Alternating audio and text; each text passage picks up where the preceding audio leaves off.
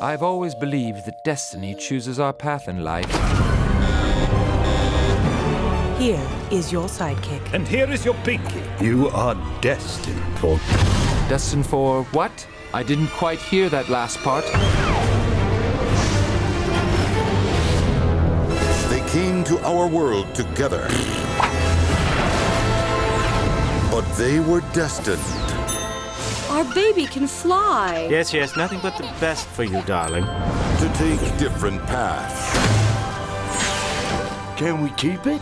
One would be cheered, Happy Metro Man Day, Metro City. I love you, Metro Man! And I love you, random citizen. while the other Table for two?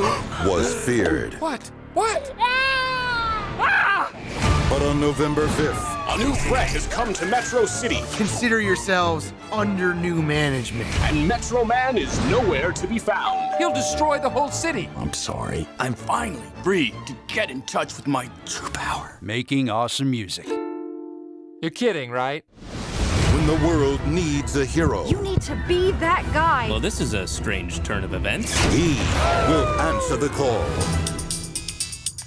Olo? Uh, it's hello. Oh. Hello? Like that? And the superhero movie Just a few alterations, and I will be done with your cape. I'm calling it the Black Mamba. will never be the same.